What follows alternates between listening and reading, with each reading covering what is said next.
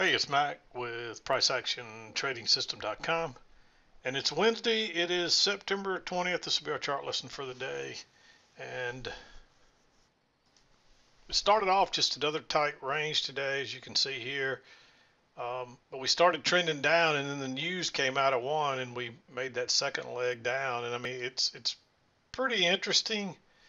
Uh, you can look at this a couple different ways. You measure that leg then you look for a measured move. You see we went a little further than that. But if you look, there were you should have been looking for the second tier to drop to here, but when it kept going, just get another measured distance.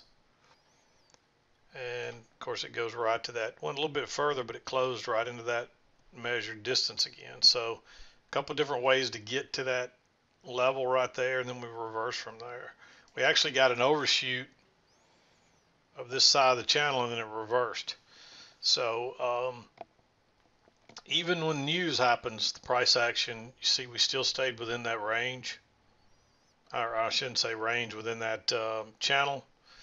And it's, you know, the price action was still valid, even during news items. So uh, the only problem with trading the news item and being in when it goes off is that it gets really volatile. So you might get stopped out even though you know where prices are likely to go or, or that type of thing. So it's still, especially on an FOMC day, I would be flat probably an hour before going into that, but definitely uh, within 30 minutes, just in case, so you don't get stopped out or give back a bunch of nice profits or uh, you know that kind of thing. So just keep that in mind. And and the news went off right in here, and you can see it got kind of choppy, although that's pretty tame for an FOMC announcement. Uh, it did end up moving down pretty quickly and pretty strongly. So um, somebody else sent me an, um, an email today saying what a good day he had today, and he said he did break some of the rules, but what he did was he knew that prices were going to, you know, were moving really strongly, so he stayed in longer than he should have, and that's okay. Um, you know, when you get a strong trend, you want to get as much of it as you can. So I don't have a problem with that at all. But let's talk about the trades. There's not a whole lot of them today, um, but it was fairly straightforward uh, until the news came out, and then it was still pretty straightforward where we were probably, you know, we were going lower within this channel, um, and you still could kind of get a target a couple different ways there as well. So uh, fairly straightforward kind of day. Uh, it was a little slow early on. Um, you don't have a whole lot of room to profit on you know inside this range but this is wide enough to where you know if you've got room you can scalp out on them so uh, but let's talk about the trades. Uh, when I came in there was very little price action at all. You actually had a failed second entry short here but that was before um, that was like around six o'clock. So uh, when it tried to go lower again and made a double bottom right here and gave you another little bullish bar I liked going long there. The only reason this is green is it's right into the high of the day. So you got to be a little bit concerned about that. But um, I still like that trade. And uh, it's a little bit aggressive, but I like it. It was a quick, easy scalp. And then um, and notice we get a close outside the channel here. So you're looking for a new high. And the, the problem you got with this is it, it might just make one tick. It may it may not even make a new high. And it may sell off. So you got to be careful with that. And but it'd been all uphill and you you tried to go lower a couple of times and bounced off that EMA and that's a fairly bullish bar too so uh, so I like that one. Um, if you tried to sneak in early on the short you can see you would have got burned on this one. Notice that you got two legs up and then you get a little bit of a close outside. Uh, this is really the first convincing close so you really needed to wait on a new high but you could have looked at this like hey we closed outside and made a new high, but it's not a very convincing close until here, so I think you needed to wait.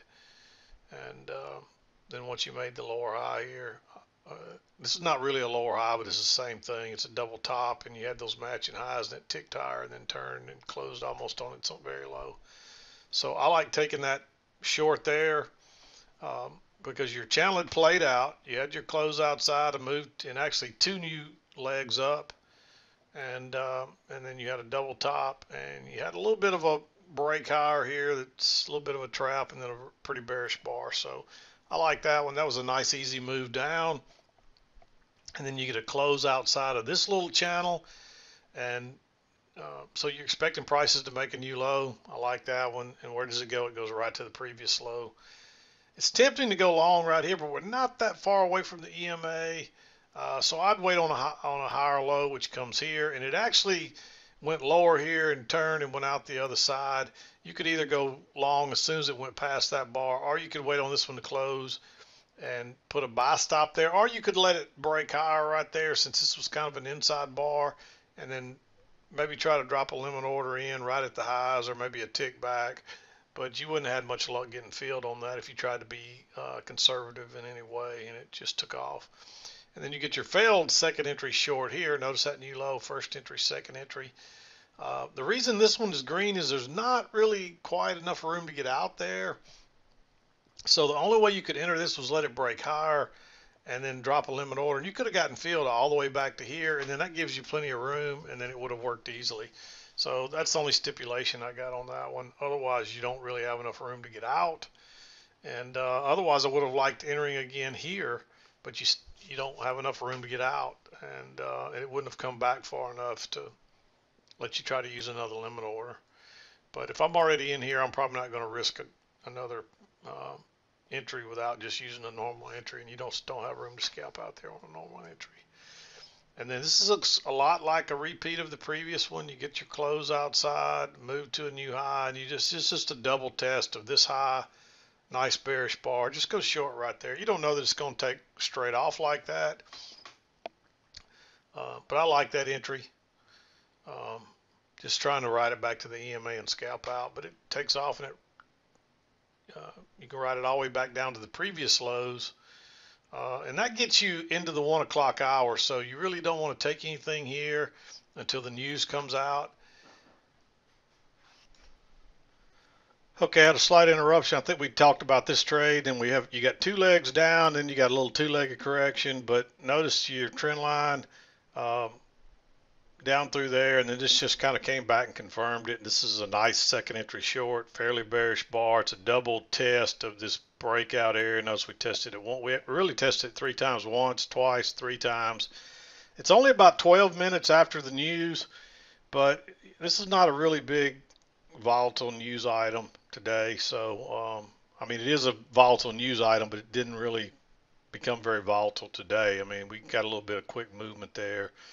Uh, but um, I like that double test of that breakout area, and then you just you're looking for at least a measured move down. That's what I would be looking for, and of course you got double that really. So you go once, twice, and this turned out to be a great move. And this is why you like to get runners from time to time. And uh, if you'd had a runner here, or if you just held on, and I would have been looking for the measured move. I'd really rather. I mean, this is more of a range day, and so and you can see that resistance coming into play. So I would have looked, I would have been looking at the range as the bigger pattern rather than the channel, but they they look like they're about equal here, really. So, um, and then we shot down. We got an overshoot here. So just remember when you get an overshoot of a channel, a lot of times you don't get a retest of the low, especially on a range type day. And uh, so you really want to wait on a higher low. Uh, this one is real close. You could almost call this one blue, but because we moved down so fast and um, and it is a news item, you had to be really careful about going long. But look how far away we are from the EMA. I mean, it's really tempting here, but I just don't think you want to risk that. Um, so uh, I think you want to wait on that higher low, which comes here. And this is kind of a repeat of this little setup right here. It's, it's almost, you know, notice that we went lower first and then turned and went right out the other side. Um, if you waited on this bar to close, I think you're too close to the EMA and back to the trend line, so I think you have to skip that. But um, you probably want to skip this one altogether because this range is in play. Uh, uh, this trend, I'm sorry, this channel is in play, not the range. The range is in play too, but the channel is in, is in play, and you don't know that this channel um, is not going to still continue on, but the overshoot allows you just enough to where you could take this aggressively if you really wanted to. I would wait and see if you don't get another second entry short, and you do, Notice first entry, second entry, you got a nice bearish bar right off the EMA, the trend line, and a retest of the uh, what should have been the support area. Even though it never acted as support, it still acted as resistance. It's a pullback to retest that. And so I like going short there. Um, it was tempting to go short again here, but um, I think you need to wait on the second entry. Notice that's a new swing high compared to that one, and that's a new swing low compared to that one. So really, that's just the first entry counting off the low. And if you're counting off the high, uh, you get a second entry here. So I kind of like once it failed to go lower, I like kind of like going long here just because the range was still playing out and we had the overshoot.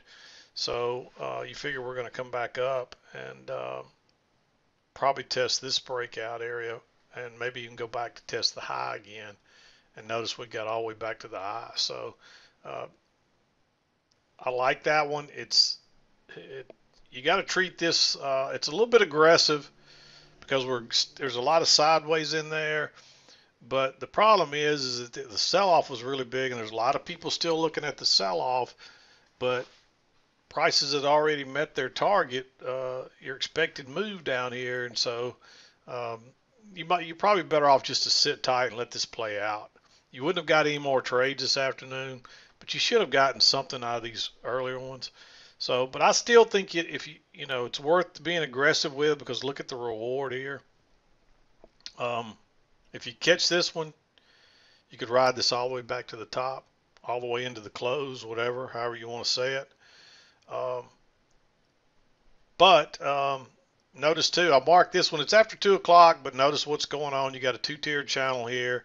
Pull back first entry, pull back second entry. That's a perfect second entry right off a key entry point with the EMA, the trend line, a bullish bar. That's perfect. And again, you would have uh, probably caught a runner there and you could have ridden that all the way up. So, and that's pretty much what you saw today. Um, I was hoping that maybe this thing would set off a trend that would continue, and maybe it will. Um, I mean, really, this is what normally happens after you get a news item. Within an hour or so, it takes it all back, and that's exactly what happened. That's another reason to be looking for a possible long here, down here, trying to be a little aggressive, because very rarely will you get a big move off a news item that it doesn't take back within an hour or two. And uh, so you know, you got to be careful of some kind of trap and reversal, and that's what you got down here. So um, after that second entry short there, I just didn't see. This one is very tempting because you could look at that like a failed second entry long as well. And um, but if you did get hung in that short right there uh, with that bearish bar, uh, once you started going sideways here, I would have taken what it would give you because this should have taken on off if it was going to go lower and so I would have taken what it would give me here and uh, break even or you had several chances to get out with a couple of ticks. I definitely wouldn't have let it break above that bar right there without reversing if I was in the short there. So um, but anyway uh, pretty good trading day. Not a great trading day but there was enough movement here where you could uh, you only needed a trade or two if you could catch one of those runners and make some fairly nice money. Um, this one you wouldn't have, you probably would have exited right in here because it's getting into the one close to the one o'clock hour and you want to be flat before that news comes out. And that's about what you're expecting to get is a uh, a move to the other side of the range. And so I would have you would have had to exit this. I don't believe I would hold that through the news uh, try if I had a runner there because you don't want to get burned and give money back or end up letting a nice winner turn into a loser or whatever. So uh, I think you're better off to exit this when you reach this level right here, or definitely by one o'clock. So, and that's still going to be, you might have got a little more out of it, but when it starts bouncing here, uh, we weren't quite to the low, so you you're you don't really want to be going long yet, um, but you you might have exited there if you were trying to hold on anyway. You probably would have exited there. So um, anyway, that's pretty much going to do it for today. I'm not going to, there's not much else I can say about today. So I'm going to wrap it up and we'll come back tomorrow and wrap up our week. And, um, but I'm out here for today. So this is Mac with PriceActionTradingSystem.com and we'll see you next time.